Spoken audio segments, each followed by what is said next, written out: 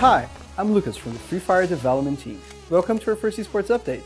Before we go through what's happening this year, we'd like to thank you, Free Fire players and fans, for incredible 2019.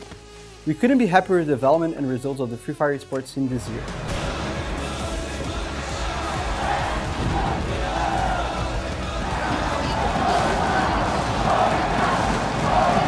We kicked off last year with few online leagues that led to our first international event, the Free Fire World Cup in Bangkok. And we made history by breaking records with a mind-blowing audience of 1 million concurrent viewers.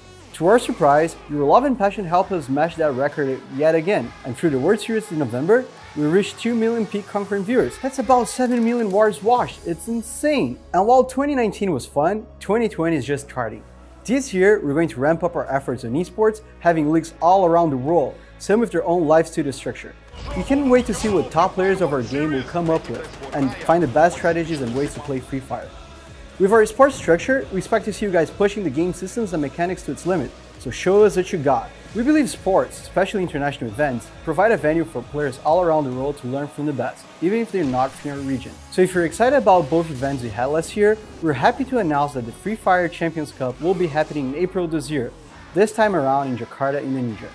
World Series is also making a comeback to Brazil in November. To close things up, we're also excited to announce two additional tournaments in June and July, with different formats from the previous championships. Stay tuned for more information through the year.